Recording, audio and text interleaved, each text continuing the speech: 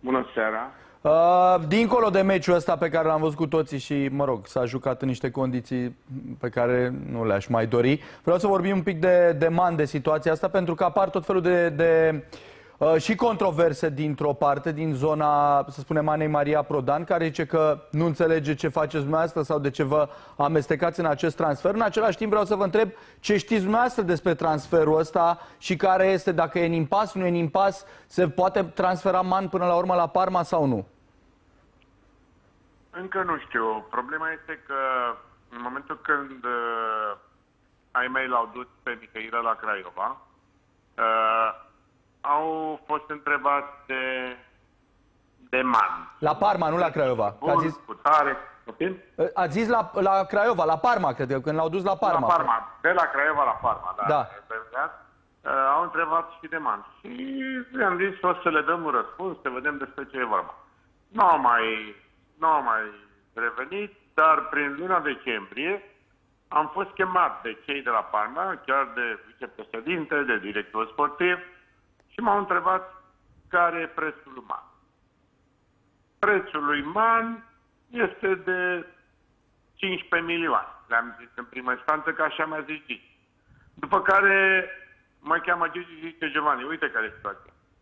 Îl- Îi dau lui Dragoș Târbu de la Becali Consulting Sport o procură, o procură uh, exclusivă pentru vinderea lui Man până pe 15 ianuarie.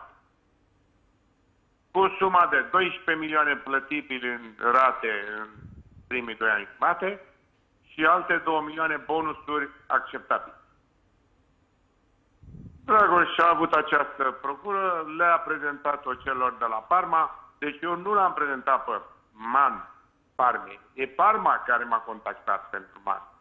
Și eu am acționat numai în folosul clubului. Nu am vorbit și nu știu telefonul lui Man. Apar n-am ce telefonare și n-am schimbat o vorbă cu Man până acum în viața mea. După care a trecut și 15 ianuarie, am ajuns acum la ziua de ieri. Parma probabil a crezut "Bă, ăștia se joacă cu niște prețuri mari, ia să facem noi o ofertă. Au făcut o ofertă de 10 milioane echipei pe CSB. Eu n-am știut până ieri, m-a chemat Gigi. Mi-a zis, bă, Giovanni, am primit o ofertă de la Parma de 10 milioane.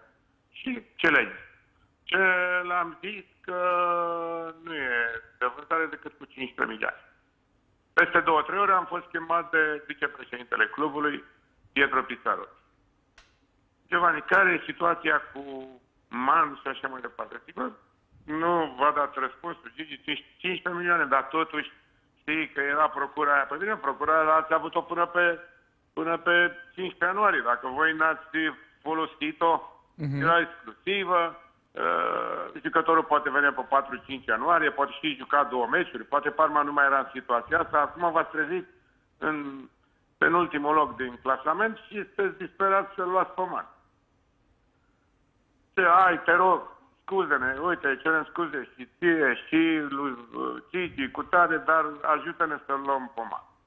Bă, zic, eu încerc să-l întreb pe Gigi, încă o dată și vă spun despre ceva. Toată seara, de la ora 8 până la 1 noapte, am vorbit de 50 de ori cu Gigi, de uh, 20 de ori cu ei și așa mai departe. La care Gigi mi-a spus pe la 11 noapte, băi, Giovanni, uite care este. Comunică-le că vreau 13 milioane plătibili în 2 ani jumate și încă 2 milioane bonus. Bonusurile erau 1 milion dacă joacă 10 meciuri în 2 ani la echipa națională și dacă dă în 5 ani de contract, 15 gol. Și jucătorul zice, spune-le că fără un milion nu mergi. Eu le-am spus un milion 100, două, ca să ai begegi, de unde nu mă interesa absolut nimic din ceea ce privește situația jucătorului. Vorbeam numai cu Uh, pe la 1 noapte mi-a spus că sunt de acord, că nu știu ce, că nu știu cum, mai vorbim dimineața și așa mai departe. Dimineața Gigi pe la 10, 11, 12, nu știu cu ce specialiști a vorbit și a zis că, mă, Giovanni, mie trebuie să-mi dea o garanție bancară, niște cecuri, ceva, să-mi acopere că dacă, Doamne ferește, intră în faliment, știi că Parma a mai fost tanți în faliment și așa, uh-huh, în faliment uh-huh. și așa mai departe, acum are un patron american, am zis, Doamne, le-am zis celor de la Putomă că nu e exclus așa ceva, nu se face așa ceva, cu tare. Și au intrat în impas discuțiile. Au rămas să vorbească ei club-club, au vorbit în seara asta și așa mai departe în continuare. Când se vor pune de acord, se vor pune de acord. Eu le-am făcut serviciul pe care uh, FCSB-ul dorea. Asta a fost discuția și nu știu ce rost are să mai discutăm mai mult despre chestia asta. Mai mult decât atât, și e tras la răspundere de unul, de altul, de, deci are nevoie să fie criticat de manager și mai departe. E marfa lui, el vrea să o cântă, de el depinde, jucătorul are contract bun și îl vinde când vrea. Da, e, e o uzanță, e un lucru obișnuit ăsta, domnule Becali, ca, uh, nu știu, un patron să dea, de exemplu, Man, din ce știu eu, este, uh, impre, mă rog, impresariat de Ana Maria Prodan, corect sau nu? Nu știu, nu știu. Nu știu de cine e impresariat. Eu am vorbit numai în interesul clubului. Am înțeles. Deci există manageri care vorbesc și intermediază și în cazul ăsta Dragoș Sârbul, care are compania Becali Consulting Sport și e proprietar și executiv și absolut totul, uh, putea să ia un comision din uh, uh, această tratativă club-club. După care urma să semneze jucătorul.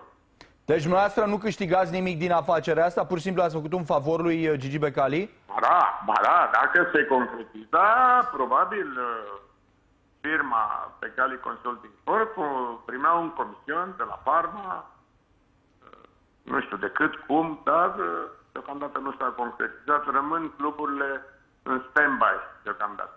Am înțeles, dar ce, de ce este așa de...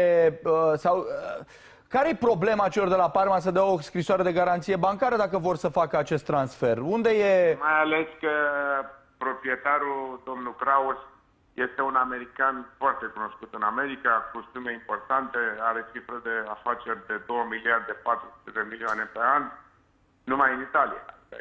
Dar nu e chestia de, de E chestia că dacă se dă o dată garanție bancară, se poate da mai multe, de la mai multe, toți vor baga și așa mai departe. Contractul, până la urmă, e, e asigurat de Liga, Federație și așa mai departe, dar în cazul când uh, falimentează, atunci sunt probleme. Și dacă Parma a avut acest precedent cu doctorul Tanți, și crede că poate să se mai repete. Ce zice? Omul a cheltuit 160 milioane, nu mai vrea să cheltuiască și așa mai departe și are și el problemele lui, probabil, nu? Da, vi, vi s-a mai întâmplat să, să vă ceară patron din partea, nu știu, să, să fiți intermediar? No, până, acum, până acum nu. Și nici nu se auzează, dar Gigi vrea, nu se auzează, dar Gigi tot vrea această garanție. Ce problemă e să dai o garanție de 13 milioane? Veți încerca să-l convingeți pe Gigi Becali să renunțe la... Nu, nu, nu, nu. Gigi Becali va face ce crede el. Asta e, asta e tot ce doresc să vă spun. Dacă doriți mai multe, întrebați-l pe Gigi. Da. O să vă confirme sau să vă infirme, nu știu. Vreau să vă mai întreb un lucru care iarăși mi se pare interesant pentru că din declarațiile pe care Ana Maria Prodan le oferă, înțeleg că vorbește și ea cu cei de la Parma. Parma negociază cu mai multe părți sau cum? Parma, Parma a vorbit cu 20 de oameni până să mă cheme pe mine. Deci eu vorbesc cu președintele, cu vicepreședintele și cu directorul sportiv. Dacă există alt, alte persoane care... Tu crezi că Parma, dacă ar fi vorbit cu alții, m-ar mai fi chemat pe mine? Asta... Chiar și în seara asta, ca să vorbească cu Gigi și până la urmă au vorbit cu Mihai Stoica, președintele direct. Deci, practic, așa, asta a fost firul. V-au sunat pe noastră și noastră le-ați făcut legătura cu uh, da, Mihai da, Stoica. Da, pentru că ei știu că brandul pe care a, a fost și este un brand în continuare, peste tot, în ceea ce privește uh, meseria asta de intermediar.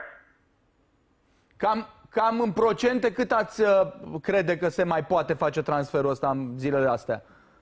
Totul depinde de, de cum se împacă GT cu, cu, patron, cu patronul partii. A nu exista... uita că vicepreședintele cu care eu am o relație foarte bună, Pietro Pizzarotti, este acționar minoritar, are 12 sau 14%. Să înțeleg... E omul care a dus Parma din, din, din divizia 4 în divizia B, în divizia în prima divizie și de un an de zile cumpărată cu 70 de milioane de domnul Crau, acest uh, miliardar să înțeleg, domnule Becali, că uh, cei de la Parma practic au acceptat, din punctul de vedere al, al uh, cifrelor, absolut tot ce a cerut Gigi Becali și singurul inconvenient este ăsta acum... Dai seama că nu sunt 13 milioane, Silviu, sunt 15, pentru că bonusurile de 2 milioane sunt practic uh, abordabile. Îți dai seama că în 5 ani trebuie să marcheze 15 goluri. Eu cred că la suma care se plătește să marchezi 5 goluri pe an, nu e prea mult și 10 meciuri la echipa națională timp de 2 ani, cred că sunt premii, deci ar fi un transfer de 15 milioane, nu de 13. Da, în mod exact normal, ce dorea. În mod normal, așa ar trebui să fie. Da, E, e însă una peste alta e o situație destul de, de bizară asta cu scrisoarea de garanție, mai ales spuneți că nu s-a mai întâmplat așa ceva. Are, da, are Gigi Becali... Să aibă această garanție că, zice, Gigi Giovanni să spun ceva. Dacă eu încă 2-3 ani nu văd niciun jucător, nu iau campionatul și așa mai departe, am mai cheltuit pe 20 de milioane, eu bag echipa în faliment. Poate și americanul zice la fel. Bă, am cheltuit 160 de milioane. Nu mai vreau. De ce să cheltui eu milioanele mele cu par? La asta s-a gândit. Și nu știu, probabil se vor înțelege, nu se vor înțelege. Eu deja am făcut tot pentru uh, uh, clubul FCSB.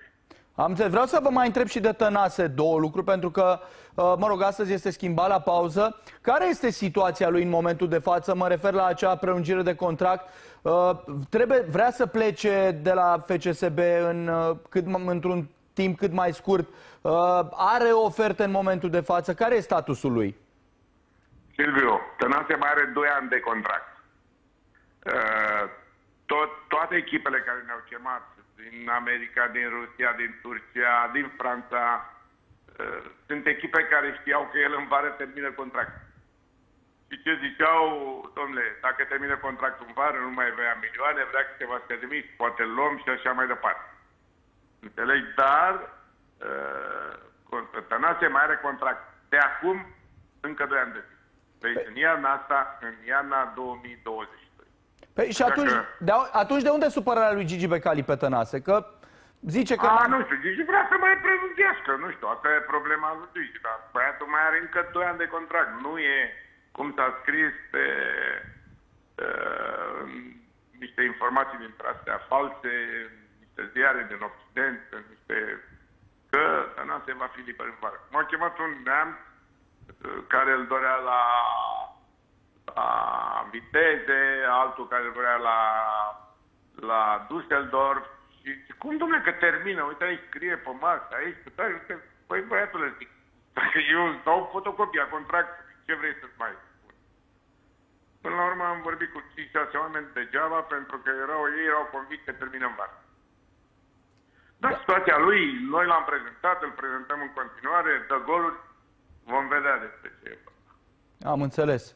Uh, nu, cum, cum, dar de ce, de unde până unde au crezut ei că mai are, că termină în vară contractul? Adică de unde a răsuflat ideea asta? Nu de alta, dar la FCSB... Foarte mult, foarte mulți e, intermediari, care nu sunt intermediari, sunt intermediari care se, se vor să se agațe de un intermediar și mai dau câte un telefon în stânga, în dreapta și vorba se duce, cum se duce la voi în media, uh-huh. media se duce și printre acești, așa zici, intermediari. Dar noastră cum vedeți uh, uh, ca impresar uh, această situație a contractelor ăstora, două contracte pe 5 ani, unul pe care să-l semneze acum și unul uh, să semneze în același timp un contract în alb care să intre în vigoare peste 2 ani. Vi se pare ok? Dacă jucătorul semnează, dacă jucătorul semnează, ce problemă? Care e problema? Nu știu, vă sfătui jucătorii să semneze asemenea dacă contracte? Vrea, semnează, dacă vrea, nu semnează. Nu e nimic ilegal în această treabă. Îmi semnezi un contract pe 5 ani, îți spun de acum că după 5 ani eu mai am un contract pe 5 ani. Păi și Tănase de ce a refuzat să-l semneze? Cine Tănase? Da, pe al doilea. nu știu dacă a refuzat Tănase pe al doilea. În prima instanță, cred că a semnat amândouă. Nu știu dacă e așa sau nu, nu știu exact. Eu cu Tănase, uh, noi cu Tănase avem o relație de un an și ceva, vreo doi ani. A, nu erați când a, acum da, așa no, e. Nu, nu, nu. Nu erați. La viitorul, nu, nu. Am înțeles. Primii ani de steaua, nu. Da, e, da, acel, dumneavoastră deja erați cu el în momentul în care se activa cel de-al doilea contract? Era deja activat. Era deja activat al L-a doilea prelungit de bunăvoie. La Tănase n-a fost, n-a fost nici forțat la banii care câștigă la contractul care îl are. Cu Steaua câștigă 20.000 de, de euro. În România e un, un salariu foarte bun. Tănase vrea și el să, experiment, să experimenteze un, po, un puțin viața asta. A văzut și el câți au plecat, câți pleacă și așa mai departe. Vrea și el să savureze și el de 5, 6, 7 ani de de un milion, de 800 de mii pe, pe an. Vrea să și arate ce poate. Deocamdată e bine, anul ăsta e bine. Să sperăm că în vară probabil se vor găsi câteva oferte. Deci și pentru, el, și pentru el vara poate fi un moment de cotitură în carieră să plece. Da, s-ar putea. Sigur, dacă continuă așa, sigur va fi un moment de cotitură. Și pentru Coman? Și pentru Coman. Coman trebuie să a pierdut foarte mult cu absența pe care a avut-o, care la inițial se credea că va fi de 10 zile, două săptămâni, a fost de două luni, două luni și ceva, îl costă până când va reveni la forma pe care o avea, l-a costat mult, mult acea accidentare. Și acum încet, încet are tot timpul în primăvara asta și eventual în meciurile de calificare să dea Dumnezeu în Champions League Uh-huh. sau dacă nu în UEFA, să arate forma lui de care, pe care o știam noi. Mai spuneți-mi în final un lucru, domnule Becali. Uh, cazul Ioniță. Ioniță, știu, e reprezentatul de dumneavoastră? Da, da, de Becali Consulting. Povestiți-mi un pic toată, toată situația asta, pentru că, uh, cum să spun, numele lui este implicat în povestea asta cu doping. Uh, ar fi primit uh, un telefon de la Dani Coman, care l-ar fi făcut trădător, pentru că el ar fi fost singurul care a recunoscut anadului că, da, a fost doping. L-ați sfătuit în sensul ăsta să recunoască dumneavoastră? Silviu, spun că azi am vorbit cu Dragoș Sârbu, care are legătură permanentă cu el, care îl ajută să nu-și pierdă nici contractul, pentru că el mai are anul ăsta și încă de ani la Cluj și are un contract destul de măricel.